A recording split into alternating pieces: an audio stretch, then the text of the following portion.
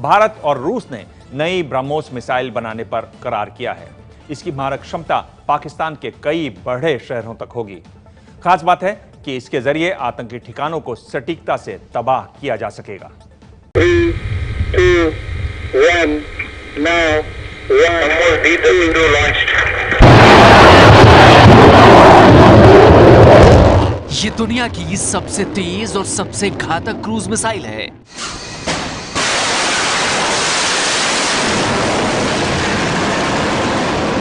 दुश्मनों पर यह आवाज़ से तीन गुनी तेज रफ्तार से वार करती है।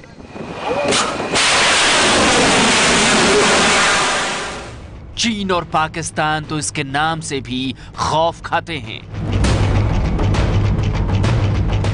ये है भारत का ब्रह्मास्त्र, ब्रह्मोस।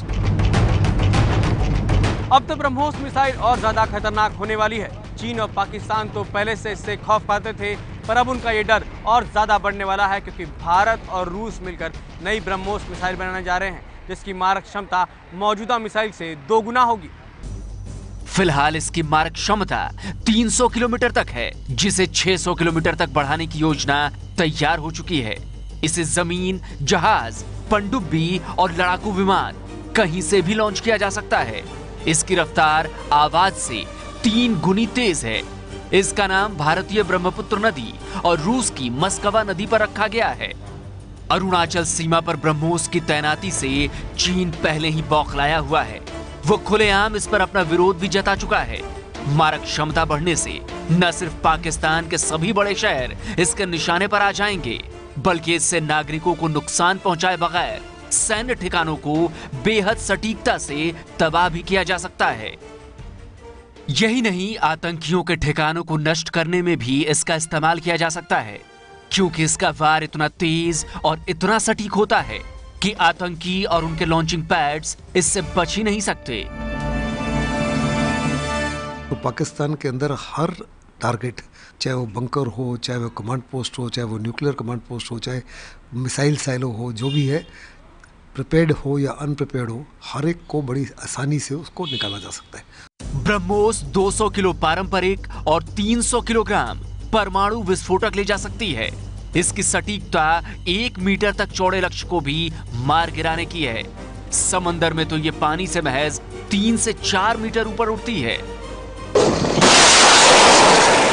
यानी दुश्मन के जहाज़ को जब तक पता चलेगा, तब तक मिसाइल उसे मार चुकी होगी। अभी तक रूस और भारत चाहकर भी ब्रह्मोस की मारक क्षमता को बढ़ा नहीं सकते थे, क्योंकि इसकी वजह थी भारत के एमटीसीआर यानी मिसाइल टेक्नोलॉजी कंट्रोल रिजीम का सदस्य नहीं होना, क्योंकि एमटीसीआर नियमों के मुताबिक सदस्य देश 300 किलोमीटर से अधिक रेंज की मिसाइल ग्रुप से बाहर के देशों को ना तो बेच सकते थे और ना ही उनके साथ मिलकर बना ही सकते थे।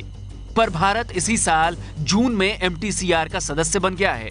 इसीलिए गोवा में हुए द्विपक्षीय समझौते में भारत और रूस के बीच इस नई ब्रह्मोस मिसाइल बनाने पर मुहर लग चुकी है। जहाँ तक चाइना का तल्लुक है, मैंने कहा, उसके जितने भी ब्रिजेस हैं जो 600 किलोमीटर की रेंज रेंज के अंदर है उनको बर्बाद किया जा सकता है। उसके जितने भी एडवांस लैंडिंग ग्राउंड्स हैं उनको बर्बाद किया जा सकता है। ब्रह्मोस की खास बात यह है कि अपने निशाने तक पहुँचने के वक्त तक अपनी सुपरसोनिक रफ्तार बरकरार रखती है। इसकी रेंज के अलावा इसकी रफ्तार बढ़ाने पर काम चल रहा है।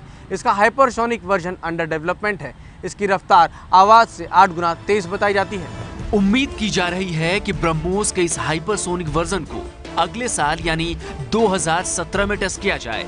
पर मौजूदा ब्रह्मोस भी दुश्मनों की नींद उड़ाने के लिए काफ़ी है।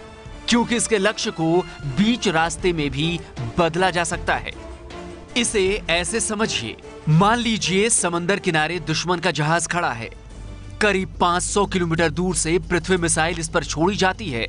लेकिन इसी बीच ये जहाज़ अपनी जगह बदल देता है। तो इस सूरत में पृथ्वी मिसाइल उसी पुरानी जगह पर ही गिरेगी, जहाँ जहाज़ पहले मौजूद था। क्योंकि यह मिसाइल हाफ़ गाइडेड होती है। पर अगर इस जहाज़ को निशाना ब्रह्मोस मिसाइल से बनाया गया है और इसे फायर करने के बाद टारगेट जहाज़ अपनी जगह बदल भी लेता है तो ब्रह्मोस का रास्ता बीच में ही बदलकर उसे नए टारगेट पर हिट करने के लिए दोबारा गाइड किया जा सकता है। यानी ये फुल गाइडेड मिसाइल है। नतीजा, जहाज़ की बर्बादी। यानी साफ़ है कि जब इसकी रेंज 600 किलोमीटर हो जाएगी तो चीन और पाकिस्तान का खौफ में आना लाजमी है। यही नहीं, ब्रह्मोस मिसाइल की इन्हीं सारी खासियतों की वजह से Vietnam, Philippines, South Africa, Brazil और इंडोनेशिया समेत 11 देशों ने इसे खरीदने की इच्छा जताई है। नीरज राजपूत के साथ प्रफुल्ल श्रीवास्तव एबीपी न्यूज़ दिल्ली।